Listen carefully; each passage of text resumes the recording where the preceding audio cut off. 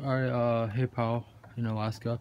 Um, these are my red millions. Um, so, just gonna start off with is this one right here. This is the one that's in the pedigree um, that I bought from the breeder. Uh, it's supposed to be a cock, but I don't know. It looks like a hen. It's hard to say. Um, hasn't shown me anything yet. So, but it's big though. Uh, so it's this one, and these are two that I bred this year.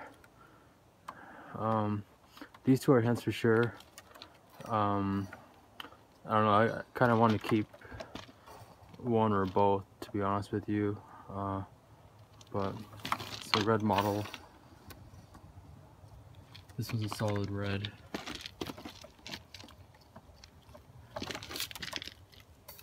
So these are all 2015 birds. Um, this one for sure I'm selling for sure.